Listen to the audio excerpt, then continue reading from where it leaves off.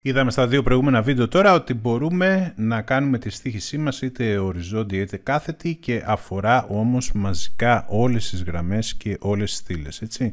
Δηλαδή κάθε κελί επηρεάζεται από αυτές τις ιδιότητες.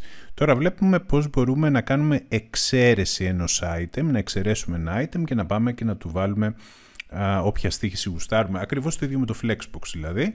Οπότε έχουμε τα δύο properties που έχουν και τα ίδια ονόματα με το Flexbox, τα οποία λέγονται Justify Self και επίσης Align Self. Εντάξει, οπότε έχουμε οριζόντια στοίχηση εξαίρεση για το item με τις ίδιες τιμές και επίσης έχουμε και την κάθετη στοίχηση για το item με τις ίδιες τιμές που είδαμε στις προηγούμενες διαφάνειες. Εντάξει.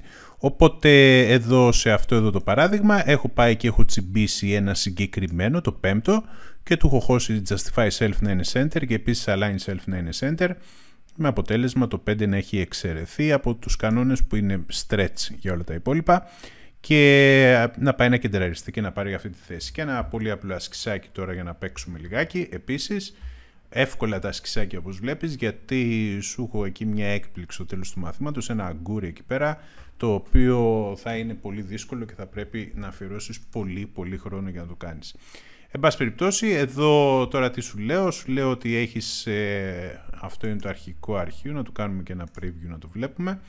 Και ένα γκριντάκι είναι εδώ πέρα, το οποίο έχει, είναι 3x3, 100 pixel το καθένα και σου ζητάω να πάει επιλέξεις μερικά συγκεκριμένα από αυτά και να τα κάνεις τη δουλειά σου. Τώρα, με όποιο τρόπο θέλεις κάντο, αυτό που με ενδιαφέρει να πάω να χρησιμοποιήσει εκεί αυτά τα δύο properties που έχεις στη διαφάνεια.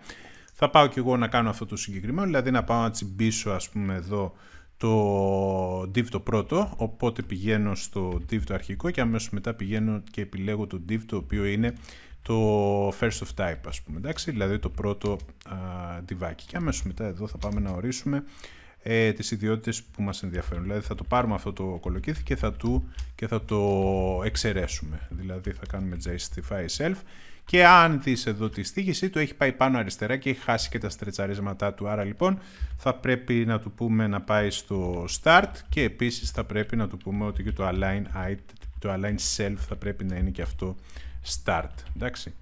Οπότε όπως βλέπεις το έχει πάρει και το έχει βάλει στη θέση του και τώρα εντελώς αντίστοιχα θα πάμε να τσιμπήσουμε το πέμπτο.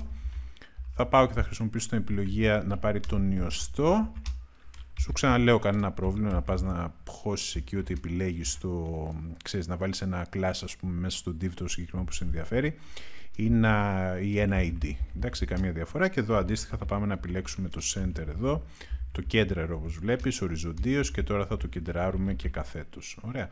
Κεντραρίστηκε και καθέτος, πάρα πολύ ωραία, έχει γίνει fit το content όπως βλέπεις και αμέσως μετά να κάνουμε και το τελευταίο, θα πάμε και θα επιλέξουμε το ένα του τυβάκι και θα το χώσουμε να είναι στο τέλος. Τέλος λοιπόν εδώ, τέλος επίσης εδώ και καθαρίσαμε. Ωραία. Άρα λοιπόν με τον τρόπο αυτό εξαιρούμε ένα item από αυτή την στίχη στην οποία έχει και το στοιχίζουμε ακριβώς όπως γουστάρουμε.